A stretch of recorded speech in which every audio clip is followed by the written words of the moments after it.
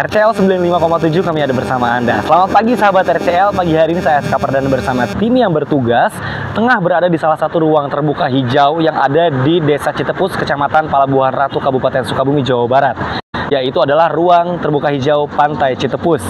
Pantai Citepus ini merupakan salah satu pantai atau ikon yang ada di Pelabuhan Ratu karena pasti setiap wisatawan itu kalau ke Pelabuhan Ratu harus datang ke Pantai Citepus.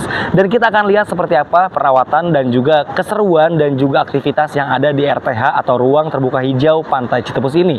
Jadi untuk sahabat RCL jangan ke mana-mana dan saksikan terus. Ruang terbuka hijau Pantai Citepus siap menjadi tuan rumah Healthy City Summit 2024.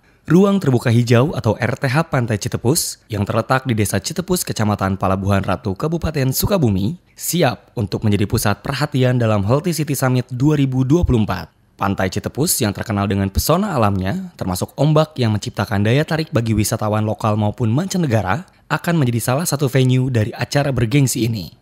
Andi Lukman, selaku salah satu penjaga taman yang bertugas di RTH Pantai Citepus, menjelaskan bahwa persiapan untuk menyambut acara besar ini sedang berlangsung dengan intensif. Ya kemanfaatannya di samping untuk para wisata gitu kan, e, luar maupun dalam gitu kan, itu. Jadi saya sebagai petugas di sini di RTH Citepus itu harus memfasilitasi terutama dari segi kebersihannya gitu.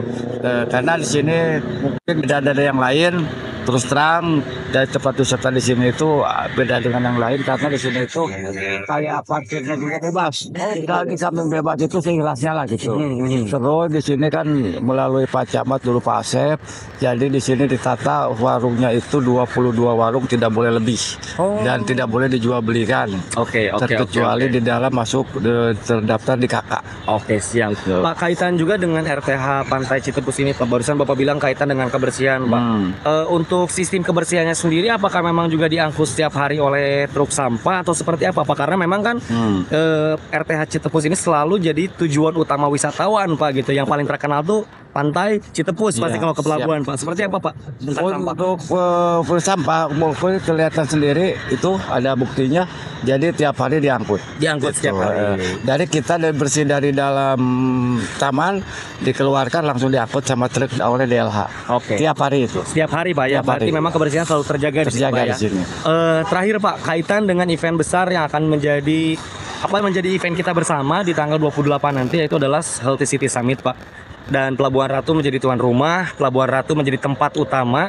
Kemudian juga Pantai Citepus pasti menjadi salah satu destinasi yang akan dijadikan tempat atau tujuan ke eh, kegiatan nanti Pak. Seperti apa kesiapan Pak? Uh, untuk di Sperkim kemarin udah pak rapat di sini melalui sekdisnya dan para kabin para kasih juga semua karyawan di sini. Jadi menginstruksikan kita harus uh, menjadi uh, tuan rumah gitu, tuan rumah yang bagus lah, terutama di wilayah Citepus ini, pantai Raya Citepus ini kita harus menjaga kebersihannya yang terutama karena ya kita kan tahu sendiri itu para pejabat dari luar supaya memberikan ya contoh lah kepada yang lain supaya kita itu lebih bagus. Pantai Citepus yang dikenal dengan panorama alamnya yang menakjubkan, menawarkan berbagai spot menarik untuk dikunjungi, termasuk pantai dengan ombak yang cukup besar yang cocok bagi para penggemar olahraga air. Keindahan alamnya yang masih alami menjadikan Pantai Citepus sebagai destinasi yang sangat diminati oleh wisatawan. Healthy City Summit 2024 diharapkan akan menghadirkan berbagai pemangku kepentingan dari berbagai kota se-Indonesia untuk berdiskusi mengenai inovasi dan praktik terbaik dalam membangun kota yang sehat dan berkelanjutan. RCL 95,7 kami ada bersama Anda. Sahabat RCL, demikianlah kegiatan dan juga reportase yang kami lakukan di RTH atau Ruang Terbuka Hijau Pantai Citepus yang ada di Desa Citepus, Kecamatan Palabuhan Ratu, Kabupaten Sukabumi, Jawa Barat.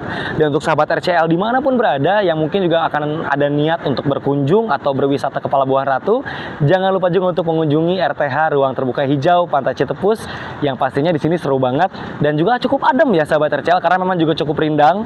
Jadi jangan lupa untuk datang ke sini dan yang pasti saya Aska Perdana bersama tim yang bertugas mengucapkan terima kasih dan sampai jumpa.